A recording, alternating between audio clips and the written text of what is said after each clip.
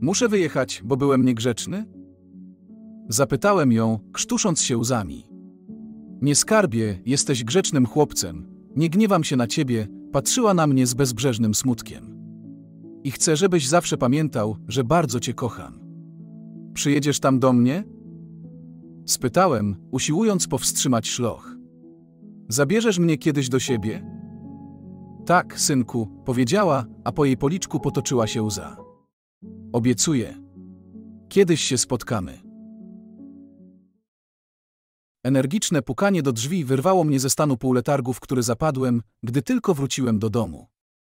Miałem prawo padać na pysk, po 16 godzinach dyżuru najpierw w szpitalnym oddziale ratunkowym, a potem na oddziale pediatrii. Każdy lekarz czułby się wyrzęty.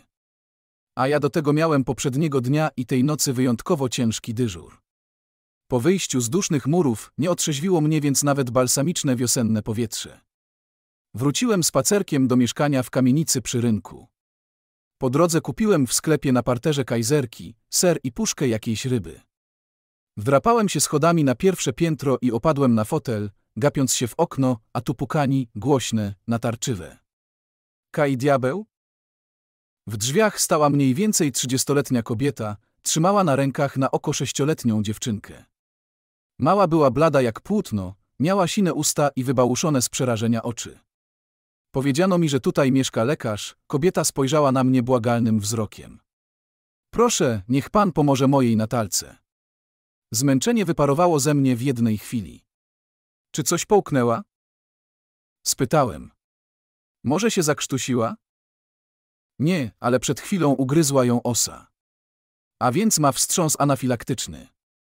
Prędko, jedziemy do szpitala. Porwałem z wieszaka w przedpokoju kluczyki do mojej starej mikry, złapałem małą na ręce i nie zamykając mieszkania, w tej mieścinie i tak nie było złodziei, pognałem na ulicę. Za mną biegła matka dziecka. Wepchnąłem obie do autka i ruszyłem z piskiem opon. Pięć minut później wbiegaliśmy już do poczekalni SOR. Nie zatrzymując się, popędziłem do ambulatorium, wykrzykując po drodze pielęgniarkom polecenia. Czas był najwyższy, dziewczynka zaczynała tracić przytomność. Zdążyłem. Dziecku nic się nie stało. Trzeba było rzecz jasna położyć ją na oddziale dziecięcym i wciąż monitorować, ale wiedziałem już, że będzie dobrze. Półtorej godziny od tego, jak usłyszałem bębnienie do drzwi, skonany jak pies, powlokłem się po raz drugi tego popołudnia do domu. Byłem tak zmęczony, że zostawiłem nawet auto pod szpitalem. Nie byłem już w stanie przejechać tych kilku skrzyżowań. Szedłem więc ulicą, czerwona kula zachodzącego słońca świeciła mi w oczy, głęboko do płuc wciągałem chłodne powietrze. Teraz, wczesną wiosną wieczorami potrafiło się jeszcze zrobić naprawdę zimno. Och, jak mi tych polskich wioseń brakowało przez wszystkie lata spędzone w Republice Południowej Afryki. Jak często wspominałem tam widok pierwszych przebiśniegów, pierwsze zielone pączki, a także słodką woń bezetu. Zapach, który nawet gdy byłem już dorosły sprawiał, że smutek wwiercał mi się w serce. Matka, moja matka.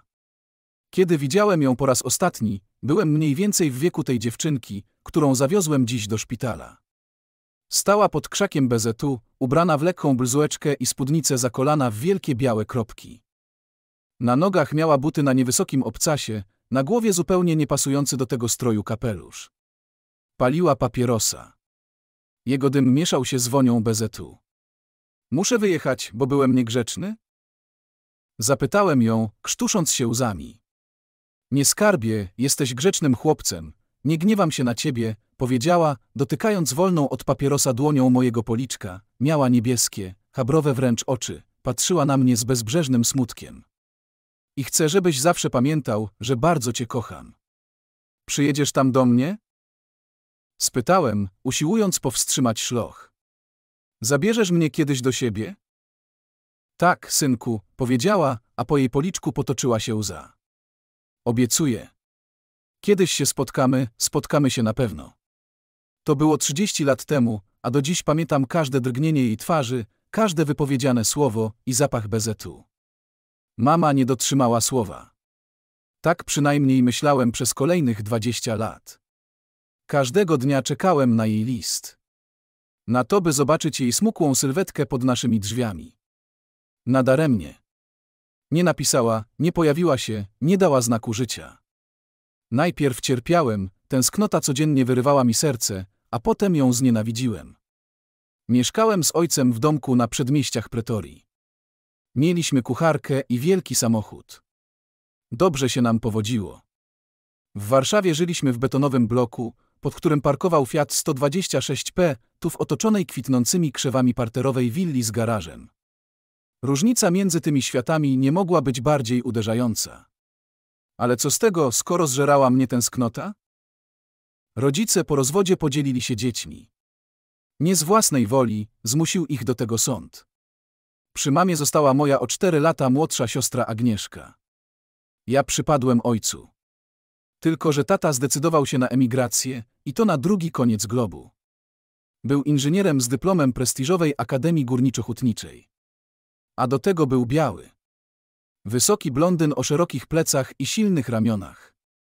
Wyglądał identycznie, jak rządzący Republiką Południowej Afryki Afrykanerzy. I znał się na górnictwie. Natychmiast po przylocie na miejsce dostał pracę w kopalni diamentów. Był nie tylko silnym fizycznie mężczyzną. Miał w sobie także jakąś pierwotną dzikość, która pasowała jak ulał do państwa rządzonego twardą ręką przez białą mniejszość. Lubił polować, dobrze strzelał, potrafił oprawiać zwierzynę nożem. Błyskawicznie więc obrósł gronem wiernych, podobnych do niego znajomych. Koledzy taty siadywali na ganku, pili piwo, wesoło do siebie pokrzykiwali ochrypłymi głosami. W naszym domu pojawiały się także kobiety. Z kilkoma ojciec zawarł nawet bliższe znajomości, dwóm udało się do nas na krótko wprowadzić. Jednak prędzej czy później każda z nich pakowała manatki. Był czas, że próbowałem być taki jak ojciec. Zaczynałem dojrzewać, tęsknota za mamą nieco przygasła, przestałem mieć też do niego pretensje, że zabrał mnie z Polski.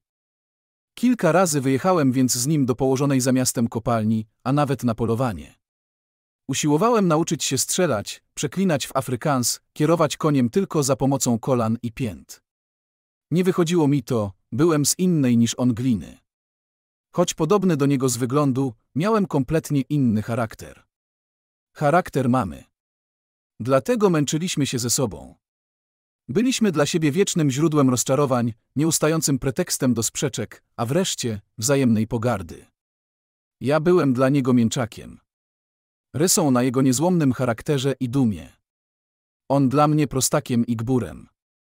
Ku rozczarowaniu ojca nie poszedłem na politechnikę, lecz na medycynę. Po kilku latach studiów jeszcze bardziej podpadłem, wybierając dziewczyńską według jego słów pediatrię, a nie prawdziwie męską chirurgię, ortopedię czy neurologię. Jako dorosły mężczyzna właściwie w ogóle przestałem u niego bywać, a kiedy w końcu zdjęty poczuciem obowiązku decydowałem się wpaść, bardzo często kończyło się to karczemną awanturą. Ojciec pił wtedy już trochę za dużo. Twierdził, że zalewa robaka z żalu za apartheidem, który upadł w połowie lat dziewięćdziesiątych. Ja jednak uważam, że odchodząc od mamy, po prostu zmarnował sobie życie. Chociaż długi czas wierzyłem, że matka to zimna, wyrachowana kobieta. Musiało tak być, skoro kompletnie zapomniała o synu. Przez dwadzieścia lat ani jednego listu, nawet głupiego telefonu. Jak można być tak wyrzutym z uczuć? Kiedy więc stary krzyczał do mnie po pijaku, jesteś nieudacznikiem, słabeuszem, którego rodzona matka nie chciała, nie potrafiłem się odgryźć. Miał rację, nie chciała mnie. I za to właśnie jej nienawidziłem. Niecałe dziesięć lat temu ojciec umarł na atak serca. Od dawna się na to zanosiło, uprzedzałem go. Za dużo pił i palił, kompletnie nie dbał o zdrowie. No i w końcu, nie mając jeszcze trzydziestki, zostałem na świecie sam jak palec. Wystawiłem jego dom na sprzedaż i wziąłem się do porządkowania zagraconych pokoi. To wtedy trafiłem na ukrytą za obrazem skrytkę. Wyłamałem zamek, otworzyłem drzwiczki i znalazłem kilka przewiązanych sznurkiem paczek z listami. Wszystkie od mojej mamy. Pisała do mnie od pierwszego dnia naszego rozstania. W tamtych czasach nie było maila ani telefonów komórkowych. Swoją miłość, tęsknotę i nadzieję na spotkanie mogła więc przelewać wyłącznie na papier. A ten przechwytywał ojciec i chował przede mną. Dlaczego to robił? Czemu zadał sobie trud ukrycia kilkunastoletniej, jednostronnej korespondencji od mamy? Czy chciał ją za coś ukarać? Czy postanowił zawłaszczyć mnie sobie na wyłączność? Tylko po co, skoro i tak nie spełniłem jego oczekiwań? Nigdy już się tego nie dowiem. Wiem natomiast jedno, mama nigdy nie przestała mnie kochać. Niezrażona moim milczeniem pisała i pisała. Policzyłem wszystkie listy. Było ich ponad trzysta. A ja, idiota, przez te wszystkie lata się na nią złościłem. Oczywiście, natychmiast ustaliłem do niej telefon i zadzwoniłem do Polski. Odebrała młoda kobieta, moja siostra. Za późno się namyśliłeś, warknęła, gdy przyznałem, kim jestem. Mamusia zmarła trzy tygodnie temu. Miała wylew. Niesamowite. Moi rodzice odeszli z tego świata niemal równocześnie, pozostawiając mi po sobie tylko złe wspomnienia, tęsknotę i poczucie winy. Próbowałem jeszcze później tłumaczyć Agnieszce nieporozumienie. Niby zrozumiała, niby się nie złościła, ale nie chciała utrzymywać ze mną kontaktów. A ja z dnia na dzień czułem się coraz gorzej. Jak mogłem tak łatwo uwierzyć, że mama o mnie zapomniała?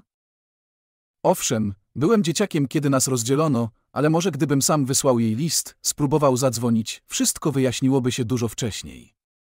A tak, zostałem sam ze swoimi wyrzutami sumienia. Mama odeszła przeświadczona, że jej ukochany syn się jej wyparł, zapomniał, zdradził. Ta świadomość była dla mnie nie do wytrzymania. Do reszty znienawidziłem Afrykę i jej pogrążających się w narastającej spirali okrucieństwa i zbrodni mieszkańców. Zawsze tęskniłem do Polski. I w końcu, jako mężczyzna grubo po trzydziestce, postanowiłem wrócić. Co miałem do stracenia? Etat w szpitalu w Pretorii? Pusty dom na przedmieściu? Nie miałem rodziny ani nawet żony. Byłem sam. Chyba podświadomie uwierzyłem ojcu, który miał mnie za życiowego nieudacznika. Bez trudu znalazłem w Polsce pracę, ruch specjalistów odbywał się tutaj w przeciwnym kierunku. Inżynierowie, informatycy i lekarze raczej wyjeżdżali z kraju, a nie odwrotnie. Trafiłem wprawdzie do prowincjonalnego szpitala, ale nie przeszkadzało mi to. Chciałem leczyć po prostu. Nie interesowały mnie prestiż ani kariera. Nagle sobie uświadomiłem, że od dłuższej chwili stoję pod niewysoką kamieniczką, w której wynajmowałem mieszkanie. Pogrążony we wspomnieniach nie zauważyłem nawet, że doszedłem na miejsce. No dobra, trzeba będzie zrobić w końcu kanapki na kolację, pomyślałem, ruszając ku schodom.